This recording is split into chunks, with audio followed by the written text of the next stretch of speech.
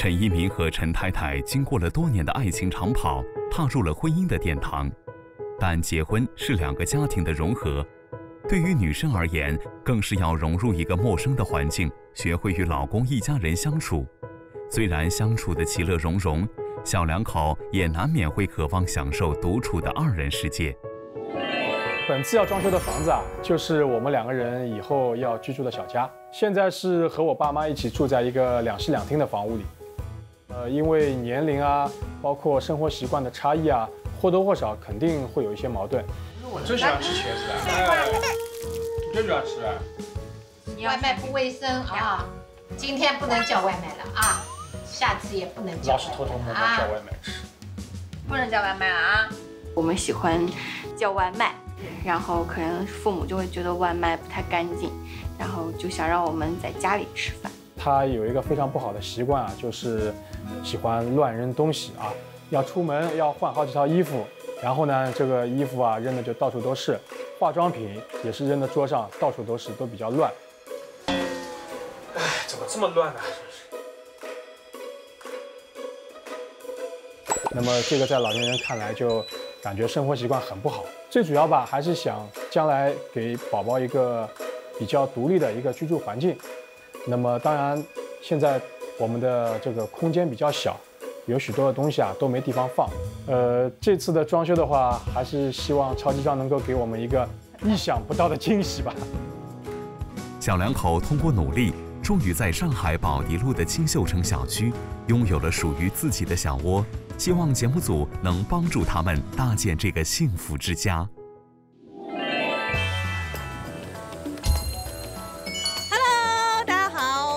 集装安心装好家，大家好，欢迎收看由家园装潢独家冠名播出的《超级装》。介绍一下，今天我们的设计师来自于家园装潢的李设计师。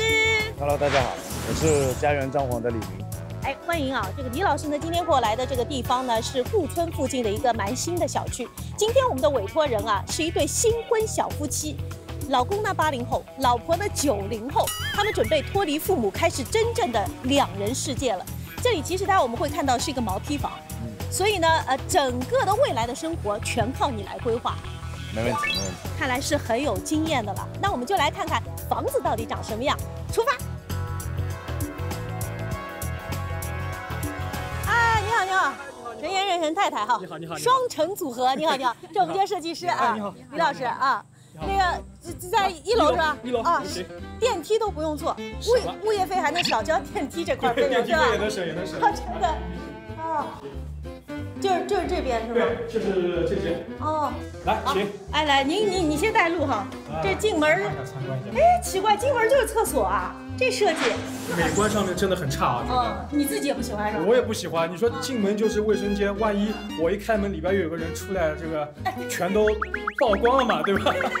我因为毕竟中国人概念里面，卫生间还是一个比较私密的场所，对吧？对对对对，这这这是一个问题哈。大门正对卫生间，这是很多家庭都忌讳的问题。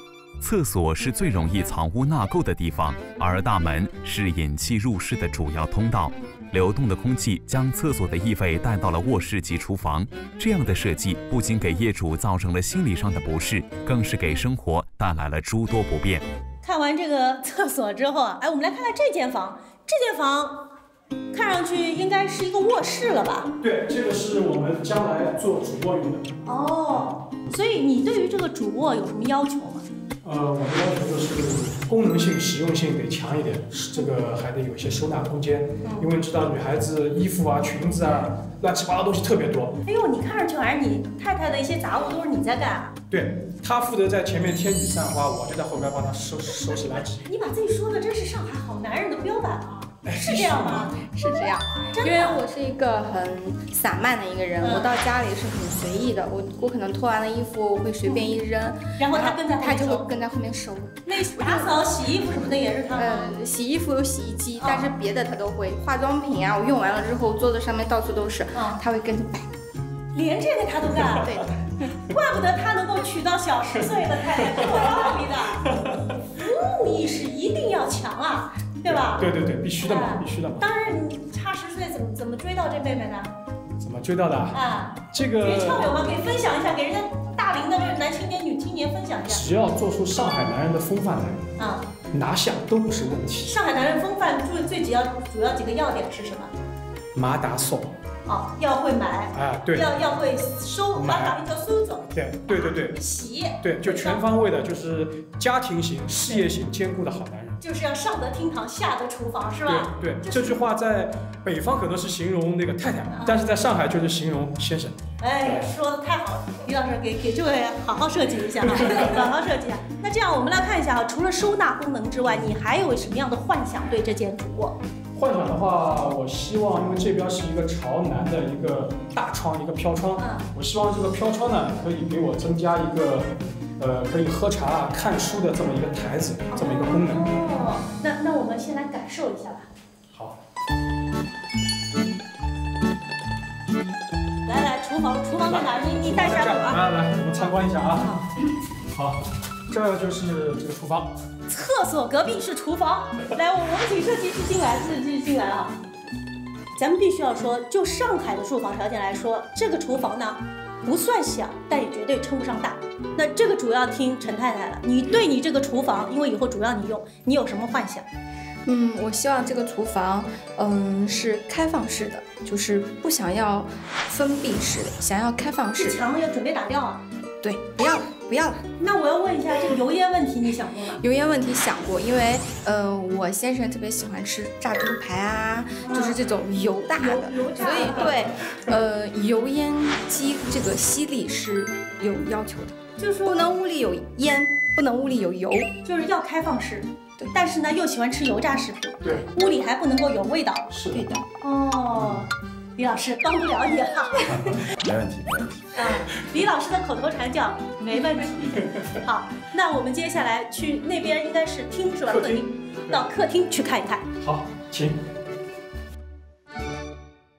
哎，你们家倒是蛮奇怪的，啊，经过那么长一条走廊才到客厅啊，对，所以这个房型比较特别。特别，那么空间的利用率会比较差一点。嗯，这个客厅，你对他的期待是什么样的？呃，其实我们是这样打算的，因为我们想有一间以后给小孩子单独一个房间，所以我们想把这个客厅呢改造一下。那孩子已经有了吗？孩子有了，孩子是在这儿呢。在在这儿。哦哦，现在哎今天是带球露营，这叫对？对对，所以你本来这个算是一室一厅，对吧？一室一厅，对，现在你要变成两室一厅。两室一厅，对，得给未来的小主人预留一个房间。其实我想问一下这个呃呃，咱们李老师，其实这套房子我目测下来真的不大，对，不大，大实际概面积比较小，大概使用面积是使用面积大概四十五个平方左右吧。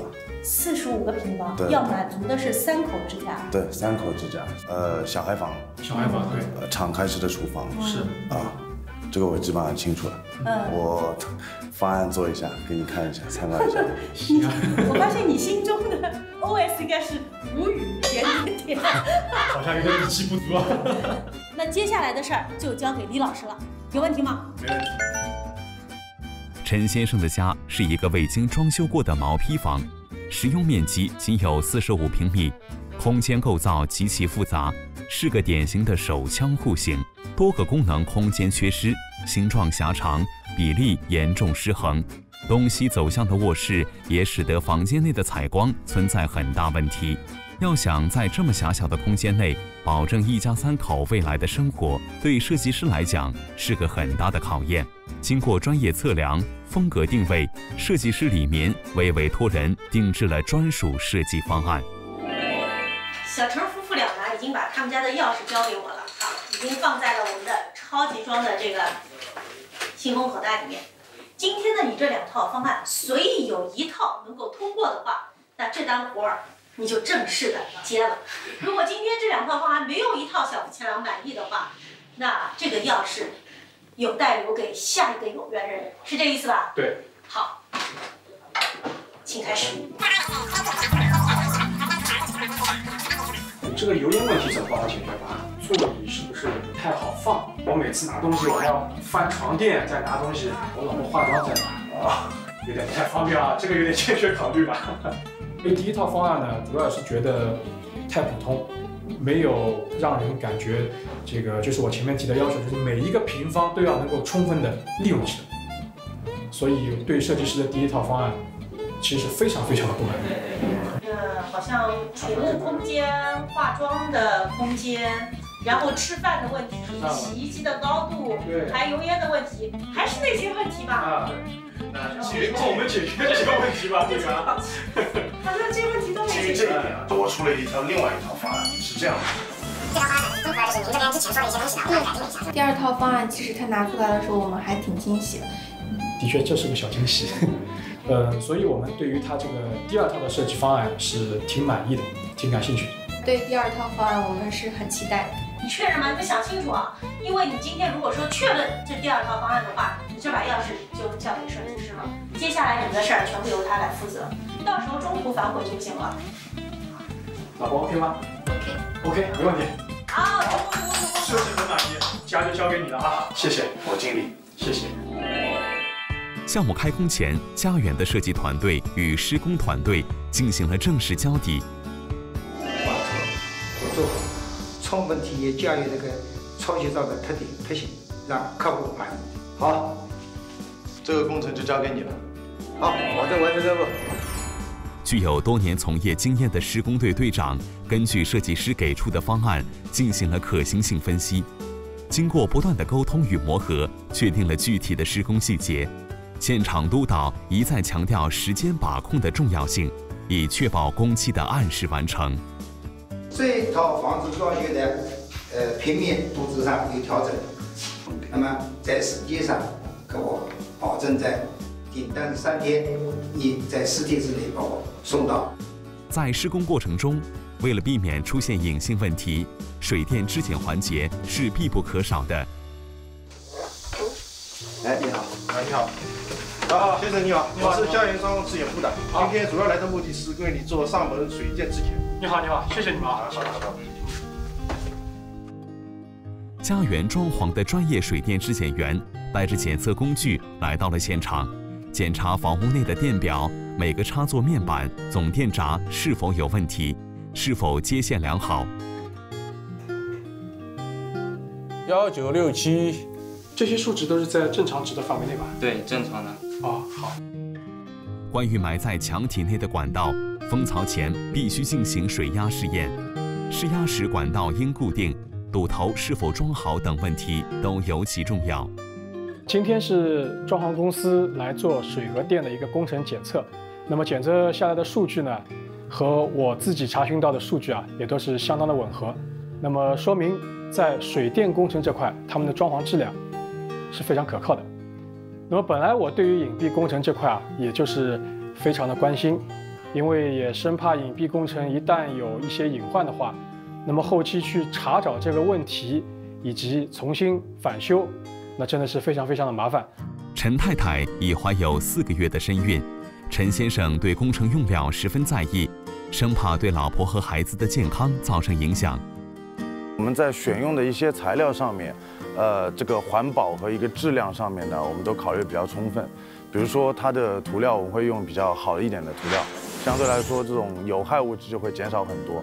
还有呢，就是在那个橱柜上面，因为他家柜子做的比较多，所以说在柜子上面呢，柜体和门板我们都用的一个纯进口的板，所以说相对来说还是比较非常环保。对于他们马上要入住的情况下，这个对他们的身体是最好的一个方面。装修的污染物主要有氡、游离甲醛、苯、氨等有害物质，长期居住会出现眼鼻喉咙刺痛等问题。这种不当污染很难消除。家园装潢使用晨阳水漆的绿色环保材料，有效地控制了装修污染。家园装潢的服务范围在住宅装修翻新的基础上，还提供了上门安装电器的服务。工作人员按照严格的专业流程进行安装，为用户提供更好的保障。来，妈妈看看这个装修的差不多啊。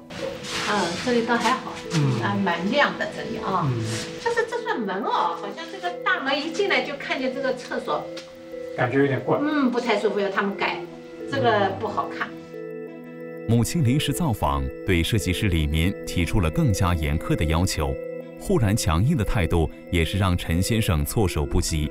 他一边安抚母亲的情绪，一边和设计师就卫生间的问题进行了反复的沟通。一进大门看见那个卫生间的门，好像不太舒服啊。那要跟他们设计员说，一定要改，这个不好看。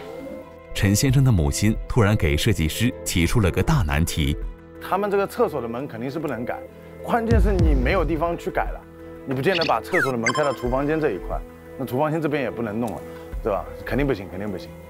这可为难了我们的设计师，最终他将如何解决这个难题？老话说得好，光阴似箭，你看一眨眼一个多月过去了，我们又再次和小陈夫妇见面了。我记得那个时候刚刚来看那个毛坯房的时候，那个肚子还不显，才刚怀孕哈。你看今天这个肚子都已经鼓那么大了哈，再过几个月就快生了好像。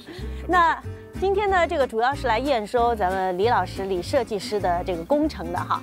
如果觉得对自己的作品有信心的话，现在我们可以把钥匙交还给业主了。感谢陈先生对我们的信任。好，谢谢。看来信心满满，我们就到小陈夫妇的新房去看一看。哎呦，和我刚刚第一次来毛坯的完全不一样了吧？是来了啊。本来你们这儿不是有一个厕所的门吗？现在改到哪里去了？对，李老师。卫生间的门呢，我们做了一个隐蔽的一个门。哦。它的门是在这里。啊，这是一个门啊。哦，现在跟这片墙融为一体了嘛？对对对。哦，这就是现在卫生间。对啊。非常的简洁大方。啊。哎，我们再关起来看看，是不是完全发现不了它？哎，就跟这个墙融为一体了。藏式的。哎，对，这样门一进来就不会一看啊，是个厕所。有特色。哎，这个你实现了，实现了哈。经验丰富的设计师完美的解决了大门正对厕所这个难题。隐蔽门的设计不仅起到了隔断的功能，还具有装饰效果，使整个空间看起来更加和谐。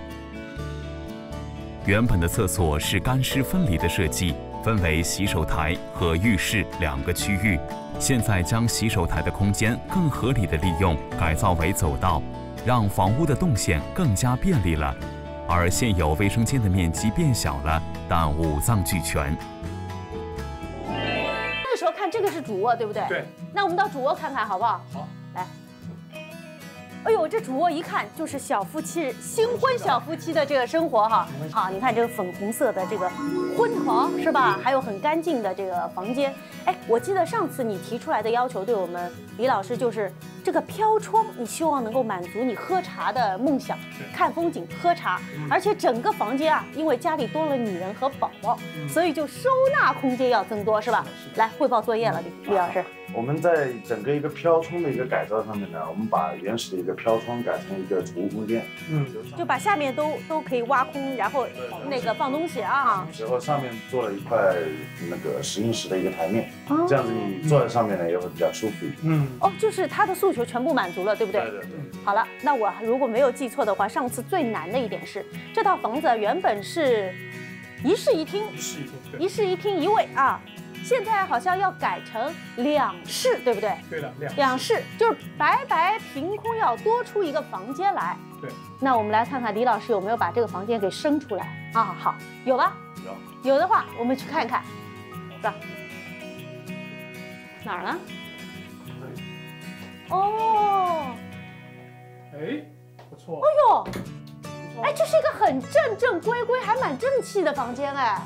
是不是你们的这个算是以后的宝宝的婴儿房算是吧？哎，不错不错不错。好，我想问一下李老师，你怎么考虑的？这个给我们揭秘一下哈，这间房子。呃，我是把原来那个一个客厅嘛，嗯，拦成了那个呃小卧室和客厅两个区域。我还深深的记得，当时我们看毛坯房的时候，我和李老师就是站在这堵墙，叭叭叭说了很久，对不对？对。啊，原本这里是咔一个通间，对不对？现在就隔成了这个一个小的房间，好，所以这这这是个床吗？对，这个是一个榻榻米式的一个床，啊，呃，下面可以有储藏的一个空间，就那个有人来或者小宝宝睡的话，也可以在这里睡，哦，也是整体是一个五尺的床，哦，其实上面其实是个双人床的尺寸，对不对？对对。所以又可以放东西，又可以睡人，以后小宝宝还能玩儿，而且我看这边还做了一个壁橱，是吧？对对。这也是可以放东西的。对对对，也是储物空间嘛。哦，我相信这个房间可能以后是呃小陈的太太哈和孩子用的比较多，你满不满意？满意。诉求都在里边了吧？好，那我如果没有记错的话，当时你们最大的诉求就是储物空间越多越好，越多越好，越多越好。那现在除了我们刚刚看的主卧和现在多出来的这个房间之外，还有没有其他的这个储物空间呢？还有一个，还有一个啊。那得去看看。我 来来来来带我们看一下，就那么小一点地方还藏一个。在这。哦，怪不得我刚在想这扇门是干什么的呢？哦。哎，这就是个小型衣帽间啊！我发现，对吗？这边这边正好给你给你太太，这个储物空间实际上对女性来说还蛮实用的，什么冬天啊换季的衣服啊被子啊 都可以塞在这里面。这个是原本的走道吗？对，原来的走道。哦，原来走廊有那么宽。把走廊改成储物空间啊，的确是脑洞大开啊！哎，得到这个业主的表扬哈。现在我们站在这个地方，其实就是厅和厨房的这两个空间合二为一了哈。对，我问一下李老师，这个厅的空间你是怎怎怎么来铺排的呢？对，本来因为它一个大厅之后呢，我把它隔出了一个小房间。哦，就是刚才我们看的这个宝宝间，实际上是属于本来厅的一部分。对对。所以你等于一切二了，现在这儿变成厅，那儿变成宝宝间了。对对对。哦，你当时的考虑是怎么考虑法呢？呃，我考虑到就是一个。它要一室改两室嘛，嗯，所以我肯定要有个地方把它隔出来，嗯，隔出来之后呢，因为它本来的厅就不是很大，不是很大的情况下呢，我把它隔出来之后呢，厅会显得很小，嗯，所以说我把厨房也做敞开了，嗯，做敞开了，你这个厅就会感觉非常的视觉上面会感觉比较宽敞，对对对，否则的话很压抑，现在就感觉因为这一片空间都连在了一块。我当时记得你对厨房要求挺高的，你又要起油锅炸什么猪排还是干嘛的，然后又不能够整个房间里面跑烟，对吧？对。现在这厨房做成这个开放式了，我看到把洗衣机也放这儿了，等于洗浴功能也都在这儿了哈。哎，这兑现你承诺的时刻到来了，这这能不跑烟吗？陈太太对开放式厨房最大的要求就是要无烟无油，强力油烟机是否能满足她呢？为了让业主心无顾虑。设计师准备了出烟锅来进行测试。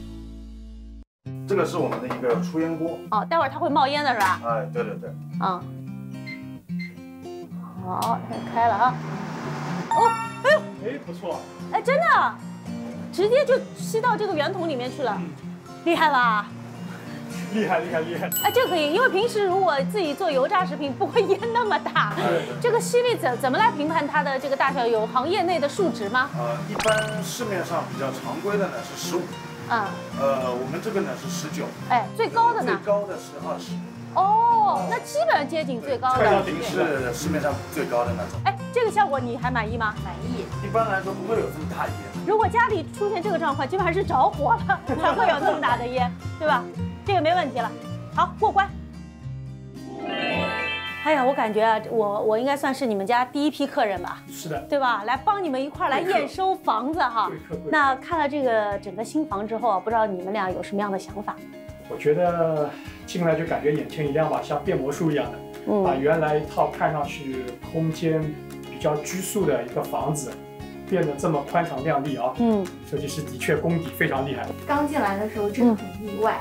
嗯，总体来说真的谢谢设计师。嗯，因为有个邻居说，哎，这房子是不是有八十几个平方？哦，实际上呢？实际上才六十多。哇！一下子就给我平白无故增加了二十几个平方。哎，真的是啊！你要就算是五万块钱一平米的话，那也要一百万呢。对啊。对吧？从心理上感觉自己又挣了好几十万的感觉。设计师帮我们节约了一百多万。啊，对啊。我觉得审美每个人都不一样，但是呢，最主要的是诉求要满足，就是我们想要有的有了吗？有了。想要变大的，大了吗？大的多了。哎，太好了哈！这个哎，我想问一下这个李老师，你你做完整个房子这个设计啊，工程都完工了哈？哎，你觉得难不难？你这整个工程的感觉？相对来说，在设计方面还是花了不少心思。嗯。因为整个房型的一个那个空间。其实改动还是比较大的。嗯，所以我觉得通过这个案例啊，我自己的感受是哈，如果买了小房子，不要。小房子不代表居住质量就一定差，其实只要动对脑筋，小房子也可以有大房子的享受，对不对？确实这样。哎，今天最后呢，呃，我们还有一份特别的礼物要送给大家，这一份是质量保证书，一份是家庭居室装饰装修工程质量验收报告。哎，代表就是这套房子我们在施工方面已经是得到一个专业上的一个认可，嗯，而且还有一个售后的一个服务，我们是二十四小时热线。呃，全全天都可以打得通的，所以我们解决呢也是非常及时、非常快的。就有问题打电话给你，对对对，啊，然后他马上就来解决。对对对。这个保修可以保多少年啊？呃，我们整体工程两年。两年啊。对，隐蔽工程终身的。哦，终身的哈。哦，也就是说哪天要是小陈家灯灯不亮了，或者空调不动了，如果是墙内电线的问题，你们也会赶来来修。啊，对对对。哎呦，这放心了，终身保修。来，赶赶紧赶紧接下，赶紧接下，有这个东西啊，就是尚方宝剑哈。尚方宝剑啊，一个电话打过去哈。那如果觉得这一次的改造成功的话，那我们机长来表示一下庆祝，好不好？好，来，我先来，恭喜，恭喜。我有，这感觉不是我干的活是吧？啊，不好意思啊，这房子是我装修的啊，各位哈，我的设计还不错吧？还有李老师，赶紧来来来来，恭喜一下哈，收工，收工。此次委托人最大的诉求就是小空间变大宅，将实际面积四十五平米的空间改造成两室一厅一厨一卫，尽可能完善使用空间布局，在原有结构极不合理的基础上。家园设计师进行合理的减法，才腾出更多使用空间，让房子透气，让房子亮堂。大家可以猜一下这家装修总共花了多少钱？如果你现在就迫不及待的想要知道的话，就可以直接扫描屏幕下方二维码，了解装修总价与材料详情，还有惊喜等着你哦。现在又到了我和这个李老师的揭秘时间哈，请问怎么合理改造小户型？呃，针对于每一个户型的不同呢，我们主要就是在一个空间上面的一个利用，把它原有的浪费的空间，我们把它利用起来。就像这套房子里面的一个过道，呃，本来是比较狭长或者是浪费的，呃，我们把它那个改动一下，增加一个储物空间。还有就是对于小户型来说呢。因为普遍房子比较小，但是他们可利用的东西呢，死角会比较多。嗯，呃，房子的不规整性啊，或者什么这样子合理的利用起来，这样子就可以做到一个比较满意的一个设计方案。这个整个六十多平方米的毛坯房，你们这次装修一共用了多少天？呃，我们总共用了四十五天。一般像这样子一个规模的一个改造。基本上是要达到六十天，甚至六十天以上。哦，那真的是还蛮抓紧时间的。那整个装修完，现在我们看到的花了多少钱呢？呃，总共加起来之后呢，我们是九万块钱这样子。整个加起来？哎，对对对。陈先生的新房套内面积为四十五平米，工程共造价为九万人民币，每平方的装修费相当于两千元，包含了主材、辅材、人工、安装费、管理费等。哇，这个价格水准，如果在行业内的话，性价比还是比较高的。哦，是是比较划算的。哎，因为我贴一下，因为是从一个，因为我看过毛坯房，就什么都没有，到整个可以非常棒的一个新房子。哇，那对于老百姓来说，基本上都是可以可以承受的，对，可以接受的。嗯哼，大家都知道装修是件特别麻烦的事。我觉得老百姓最怕的就是因为我不懂，所以我可能被骗被坑。